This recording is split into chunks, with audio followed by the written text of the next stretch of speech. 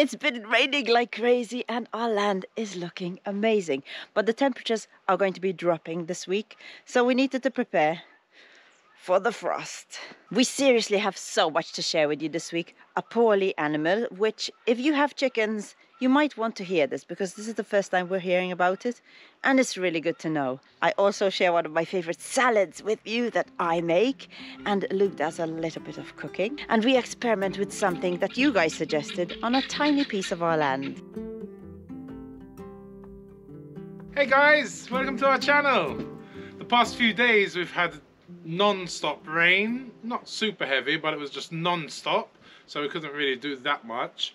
And I've been keeping an eye on the on the on the weather report on the temperatures because we still haven't gotten our first frost yet. Now over here we do get a frost um, from around this time of year, mid-November, till about probably around March. But there are people who are even our neighbours across the river they don't even get a get a frost. So there's a lot of microclimates about. Even on our own land, when we walk down towards the earth in the middle of winter, we can feel up to like a five degree difference. It just drops just because we're going down into the valley. So we've been keeping an eye on it because there are some things we need to do before the frost hits, like finish harvesting some little things in the garden, protecting some things, and protecting some equipment and also we haven't even had a fire on yet because I mean we work all day and then we go into the caravan we cook and with the heat of the cooker it's enough to heat this uh, tiny house. I checked the weather report and it looks like tonight is going to be the coldest day so far this after summer anyway. It says it's going to be between 0 and 5 and well it says 3 in fact 3 degrees and sometimes when it, the weather report says 3 we do get a frost so I just want to make sure um, we protect what we need to protect. Now last year we only burnt pine in the in the wood stove so I went out and bought this contraption. I've never owned one of these. It's like 36 euros this, not cheap, but it does have, they're about, how long are they?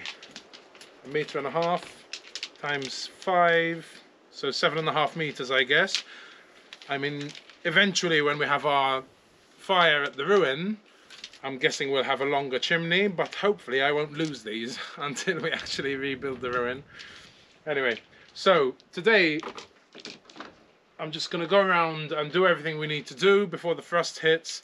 And first things first is we want to have a fire on tonight, so I've got to clean that chimney because pine, the amount of resin that comes out of it it's very dangerous. You can set your chimney on fire. A lot of fires start like that actually here in Portugal. So I'm going to jump on the roof and just give it a good clean. Never done this before. See how it goes. Throw it up.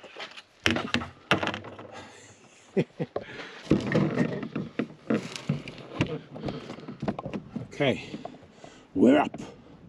Sarah! Nothing, I'm just pointing the camera at you. Beautiful day, clouds are going away. Whenever there's a lot of cloud, it never really drops below zero, just because it creates that warming effect with all the clouds. But when it's clear sky, it gets chilly in winter. Ooh, there is quite a bit. I'll show you. Now we really don't put the fire on much just because our house is so small. Can you see that?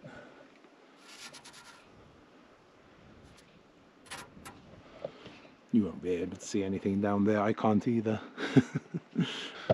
Let's clean our pipes.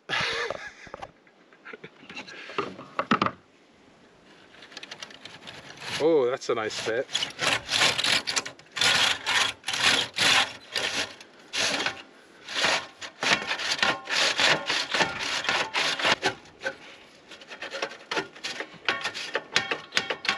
oh, it's stuck.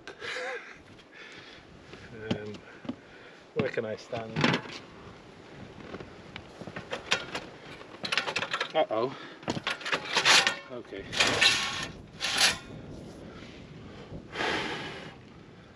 That does a really good job. Well done, Brushy.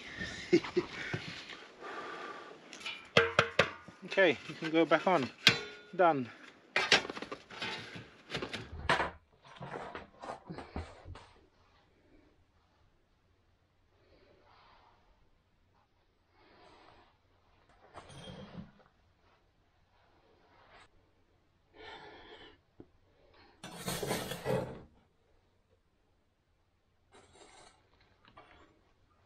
I'm going to tell you a few interesting facts about ash. It can be a natural source of potassium, so do not get rid of it. It has a liming effect, so you can remedy excessively acidic soil. Decomposing materials in your compost bin can become somewhat acidic, so wood ash can help with this. But like everything else, moderation is very important, and putting too much of it can inhibit plant growth, so be careful about that. And never put it directly on a plant. And I have also learned that it repels slugs and snails. And we've got quite a few of them showing up on our cabbages. So I'm going to put a little bit of a ring around it and see if it works. Stop eating our cabbages, you are destroying them. Seriously, guys. Every night I come around the garden and I get a huge handful of cabbage for the girls. A nice assortment, and they love it. But if the caterpillars and the slugs are going to eat it all, there's going to be none left. They're really working fast, these little guys. So Get off. There's nothing left of this cabbage. Guys, I know you're not supposed to put it directly on the plant or on the soil, but I think a light shaving of it, let's see. I think I have decided instead of going around individual plants, I will go around the whole bed. And then I will go around and take off all the little animals that are eating our veggies. I hate touching slugs more than anything in the world. Ugh. Okay, next is to harvest all the remaining bits and pieces from the garden that will die with the frost. Um, this is spinach and we've had it all summer and we've just been eating and eating. I had to look up online and it said eight, it goes, it can survive up to minus eight. I don't know if it's the same variety or not, but I'm gonna risk it, I think, because we love it.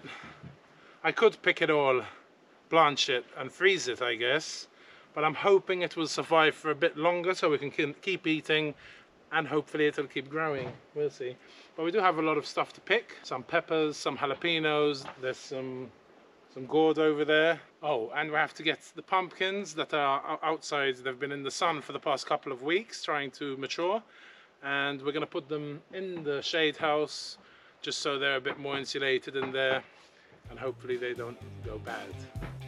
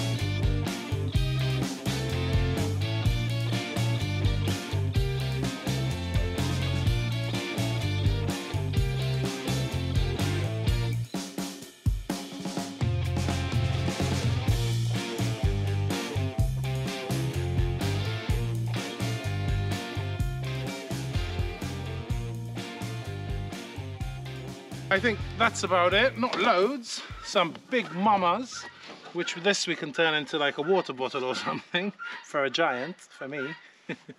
I mean, look at that.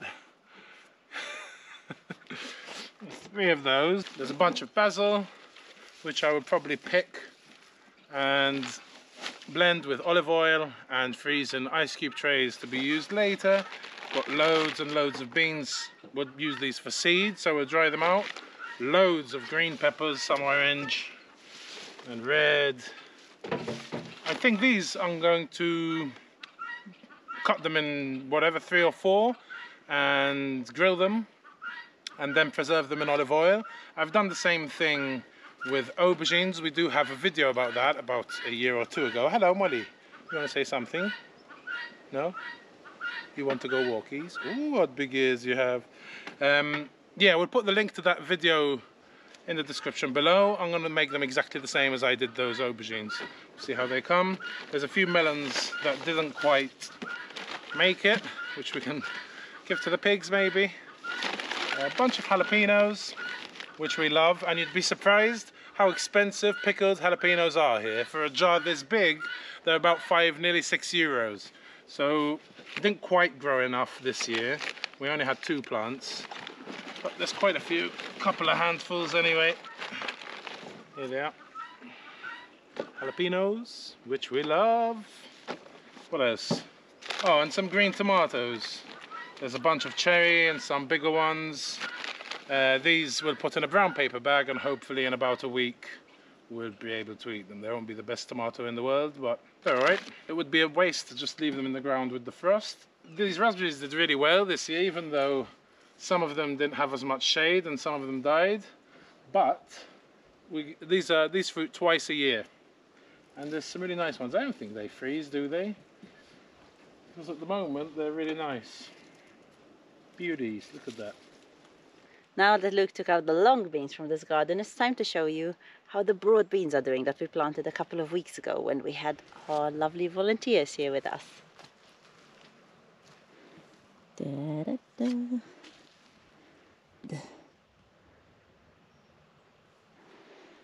And we also planted peas along the border. Ding. When I'm thinning out things, if they're really close together, I just cut.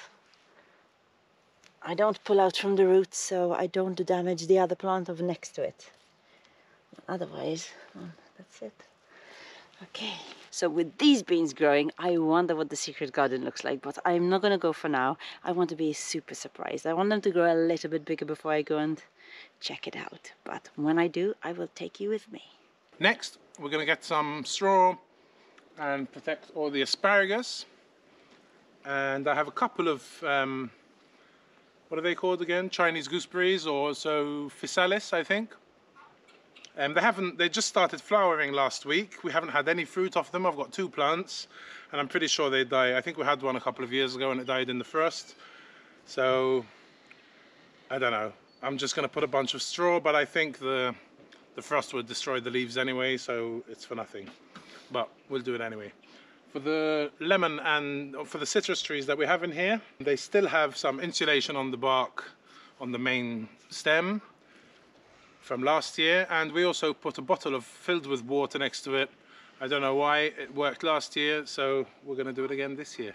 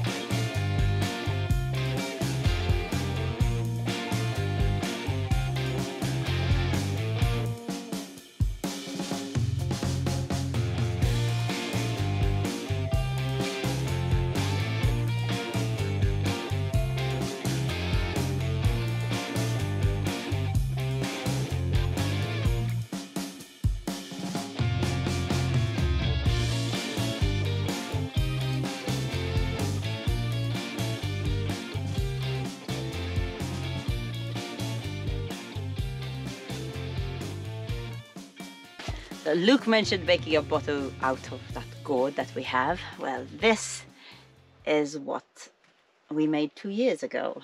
It's a water bottle, but I don't use it because I just don't like the taste of the water once I put it in the bottle. But it still is really cute, right? And we do have last year's bottle gourds. Look. They're really cool. But now they have a lot of mold around them, so they're ready to sand and make something out of them. So what do you think, guys? What do you think we could make out of them? Musical instruments, I know they do that in Portugal. Or maybe a salt and pepper shaker with these two. Cool, huh? Once I'm in here as well, I might as well tell you so. I've been collecting pine cones from around the land. I try to collect the ones that are really good. If they look like this, they're really good fire starters. So if you have a lot around your land, it's worth picking them before it starts getting too wet and rainy. Okay, and I want to talk about this aloe vera which is beautiful it but it is way too crammed in here I know it there's a lot of little plants in here I do need to split it up so it can thrive but the problem is that I got this cutting from my mother about two and a half years ago now I got a lot of cuttings but this is the only one that made it because in winter it dies every time there's a frost it kills the aloe vera that would have been doing so well in summer but this is doing really well and it survived two winters till now. So I'm really happy with it, but I don't think it's the right time to split it now because it might make it really weak. What do you guys think? Any suggestions? I do have to find out how to split it too because I'm pretty scared that I would split it and then kill the plant. Have to do a little bit more research about that. Now speaking about frost hurting the plants, over to Luke, he's going to share some good news with you guys. These are my beloved kaffir lime leaf plants. We do love Thai cooking and these are very, very important in Thai cooking. And I've been looking for these, to buy these since we've been here and only this year I bought a couple off a friend of mine. Thank you, Linda. They're beautiful. So this winter I'm going to leave them in these pots and I'm going to mother the hell out of them. So I'm going to take them in and out every day because I want them to survive. And then hopefully next spring I'll put them in a bigger pot and hopefully the following winter we can just put them in the shade house. My babies! Mmm, love kaffir lime leaf. He really does, and I am going to love picking those leaves for him to put in his cooking when it's big enough. It really is a must-have ingredient for Thai cooking, and he loves cooking Thai food. And speaking about food, I am going to share with you my favorite salad. I don't think I can class it as cooking, it's more like chopping ingredients or picking ingredients and putting them all together. But this salad is a mix of fresh foraged and preserved ingredients and I love it.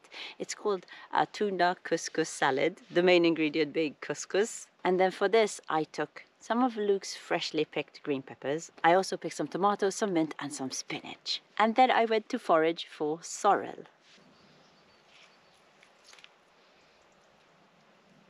in this couscous salad I like to put capers and uh, we don't have capers today and this is this is perfect because it's the it's got the bitterness of a caper.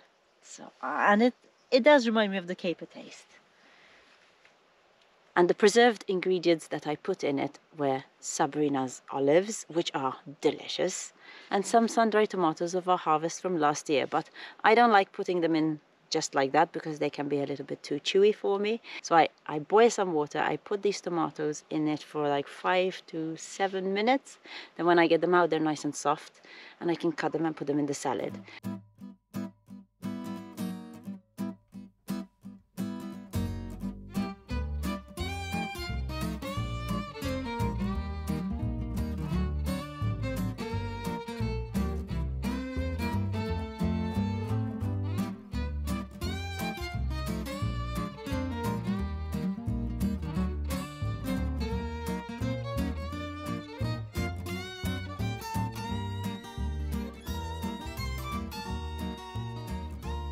The thing is that if I remember to do this before I actually boil the couscous, I will use that water to boil the couscous in because then it has a nice tomatoey taste and a nice red color.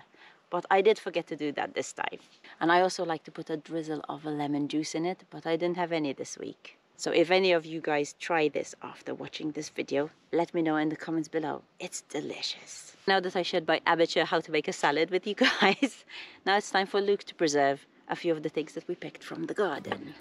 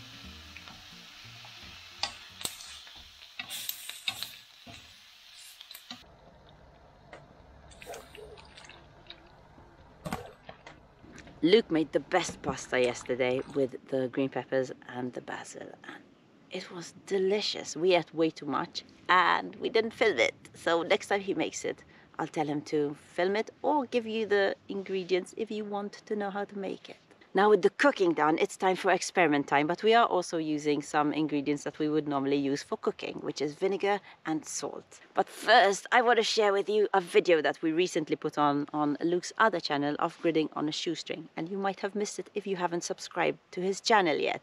I love it, so I think you will enjoy watching it. It's just six minutes long and he makes three beautiful benches out of three different types of trees. So if you want to watch it, at the end of this video, I'm going to put a reminder for you guys and you can click on that link then. Or I will put it in the description below. Okay, now that we have all the everything frost proofed, I'm gonna head down with my strimmer and destroy some brambles. But before that, on the way down, we've got a lot of brambles that we've killed, not killed, cut down with the strimmer over the years. And I always see them coming back.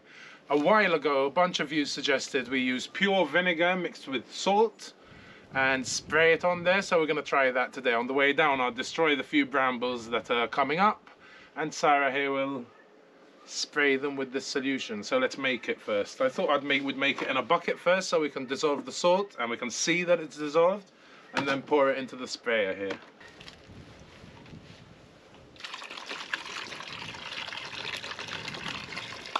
Whoops. Can you hold that one? They ran out of pure normal white vinegar, so I got some white wine vinegar. Get them drunk as well. Sure, can't harm.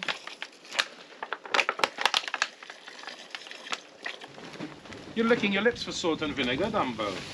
Just put in one kilo for now and see how that dissolves. Put another kilo in. We want to cause some destruction. Okay.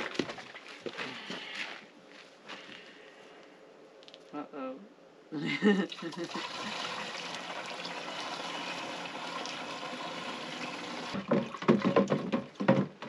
okay.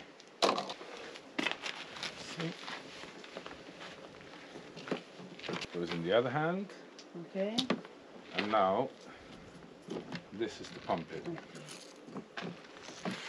All right, I'm gonna grab the strimmer. I'm gonna strim. Sarah's gonna spray, and then we'll see if it kills them.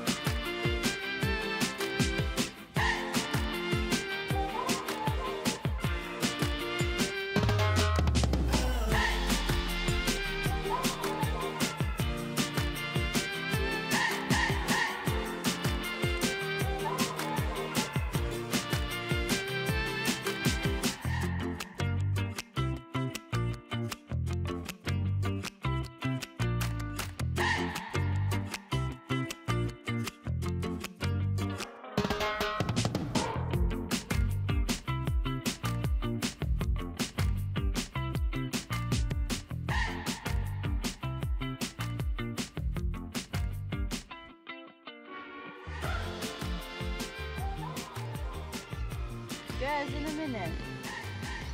In a minute, guys.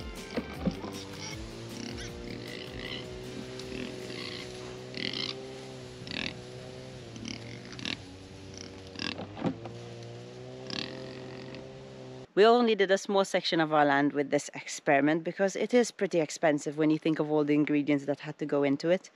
And if it doesn't work, yeah, well, at least we'd have tried, but at least we'd have tried on a small section. Now I'm gonna take you to the caravan because it's time to introduce you to our poorly pet who we have called Wobble. Yes. We have tried many things over the last couple of days and now we've got the actual right thing to help her get better, hopefully. So fingers crossed. Sit and down and down. Clever girl. You want to see why You were saying, what is this noise? It's a Chucky, and she's going to sleep with us today. Look. she wants to come out. Stay inside, okay? Look. Look. The Chucky. The Chucky's inside. Huh? So this is the boarder that I told you about who is sleeping in our gypsy caravan. And her name is either Wobble or Luke called her Bluey. But she has not a very good story, I'm afraid. She has spraddle leg, what we think is it is spraddle leg, yeah. eh? And it is normally, they get it when they're born, so I just went undetected for so long, which is not very nice. But basically, four days ago I realized that she wasn't walking very well and she seemed to deteriorate pretty fast after that.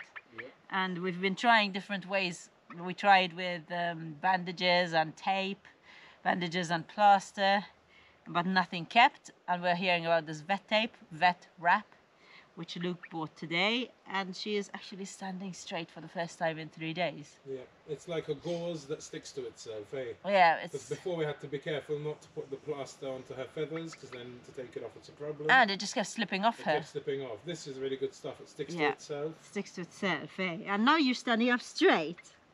At least she's standing with her own weight on her own two feet, kind of.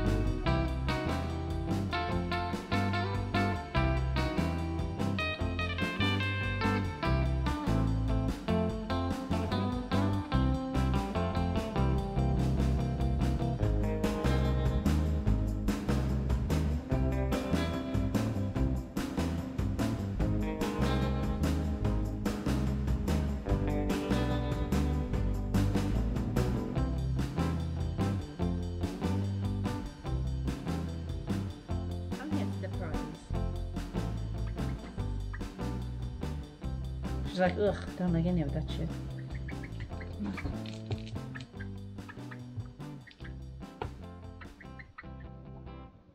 Very good. Looks mm -hmm. okay. I mean, she's standing. She couldn't stand.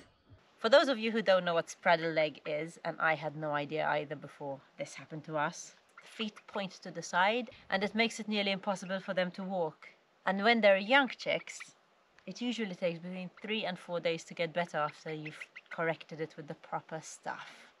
There are a few reasons why chickens get this. So it's either inadequate flooring or bedding and it like they keep slipping.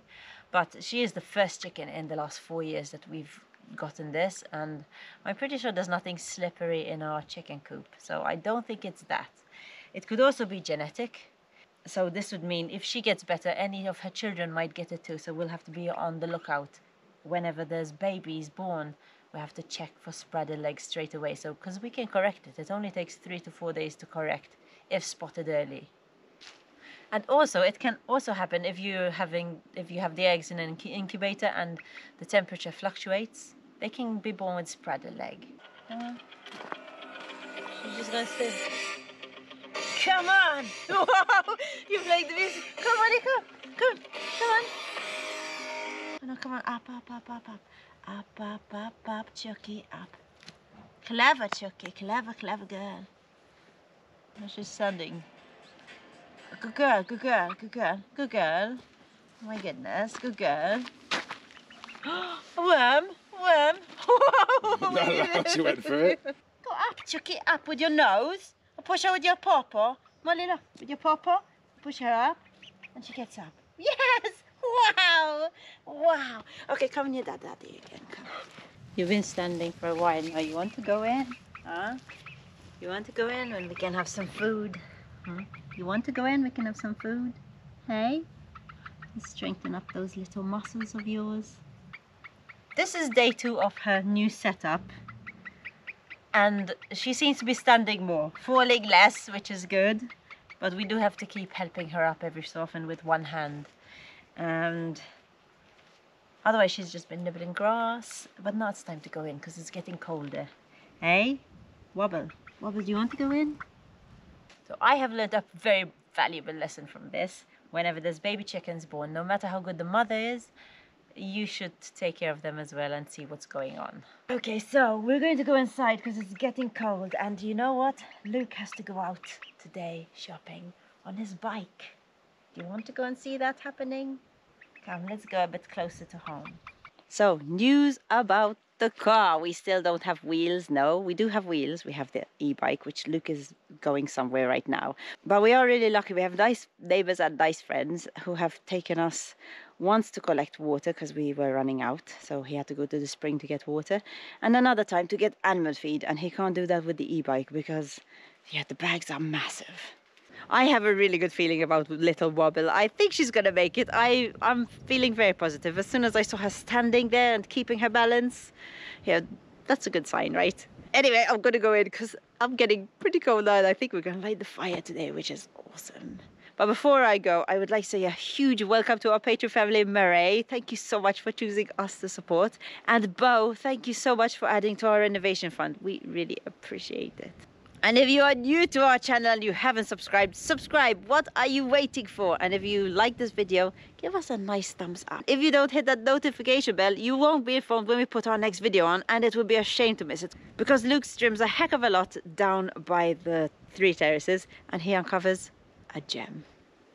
And you'd be silly to miss it. So anyway, that's it from me. I hope you have an amazing day and go and watch this one next. We are going out soon and Molly has very big ears. Sometimes when Molly's really listening to everything I'm saying because she wants to go walkies, it's walkies. You wait there like a little angel. Must be the season of the witch.